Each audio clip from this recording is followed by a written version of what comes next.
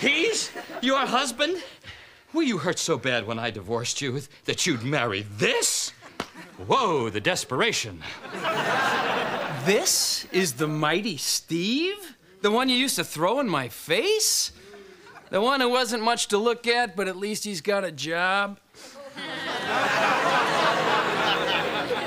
No, you gigolos make me sick.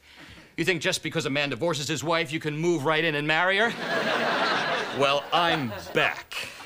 So you can just pack up your hair and profile and find another heartbroken, discarded middle aged woman to marry.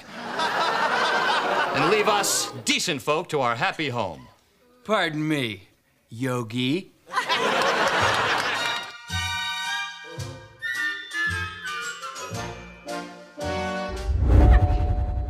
If it's that woman, I'm not here. He's over there. Stephen Rhoades, don't you dare think you can walk out of this argument. What argument? Do you see an argument? No. All I see is an innkeeper who doesn't honor reservations. Shave the beard. Okay. I'll just have to go where my beard is appreciated, somewhere where looks aren't important.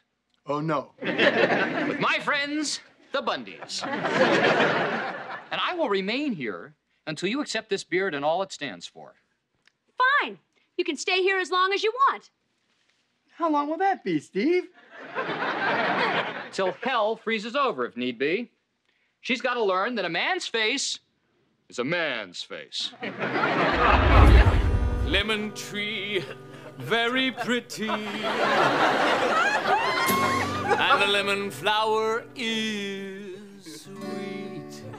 But the fruit of the poor lemon is impossible to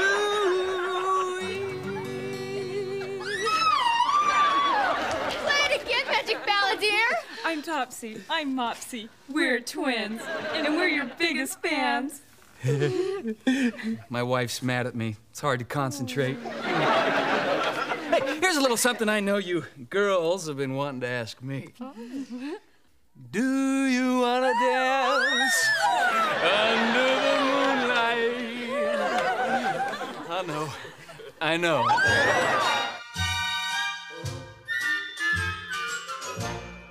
I'm talking about my, my other client. Yeah, and uh, put 50 bucks on Agile Angus to place. Yeah. Mr. D'Arcy, hmm. I think I can get you a job in this commercial. Why? What have I ever done to you?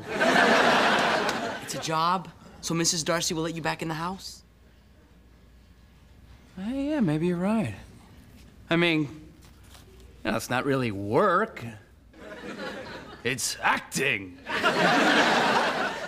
And of course, I made two cups of romantic roast. Okay, I'll let you know how it goes. Bye.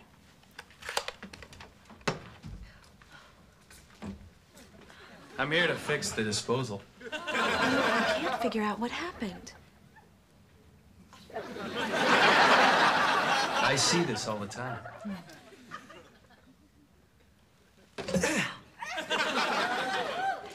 Can I thank you with a cup of coffee?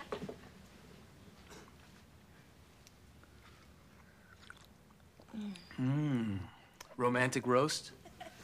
Romantic roast.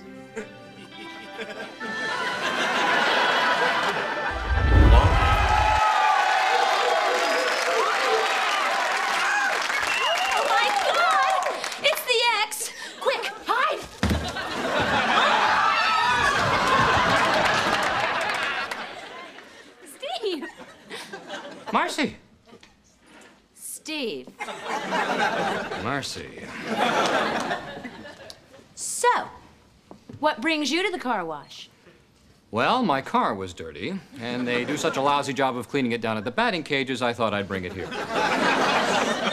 Well, it's nice to see you're still such a sarcastic twit, Steve. Besides, I thought you were in the desert protecting the wildlife and performing guys and dolls with your little cactus friends.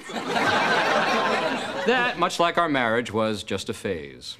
I did the environmental thing for a while and then decided I wanted to find myself. And what I found was uh, myself likes money. So, Did Mr. Marcy let you out alone?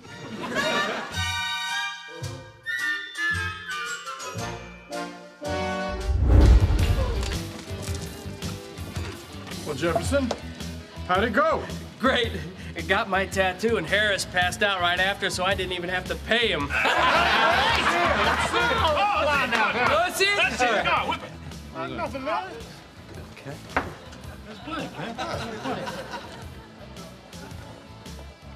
Maybe I didn't get a tattoo. Oh, man. Yo! I got one. All right, Jefferson, drop trout. Hang two. Here we go. Oh, man, Marcy's gonna love this. Uh, I don't know, Jefferson. I think he left out to sea. What are you talking about? I hate to tell you this, buddy, but uh, you might be married to Marcy, but uh, your ass says I love Mary.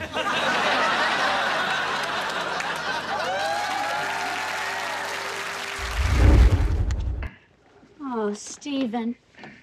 You're the most wonderful husband in the world. I'm the one who should apologize to you. There's nothing wrong with a little physical attraction. After all, that's what first attracted me to you. Well, I guess I am sort of the whole ball of wax.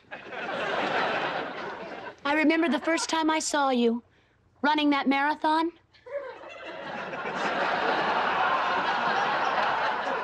Your arms were tense, your chest was heaving, there were tears in your eyes. But still, you tried to catch that woman in the lead. I love you, Steve. Do you forgive me? Of course I do. Oh, um, this came for you. Somebody dropped it off at Al's. What is it?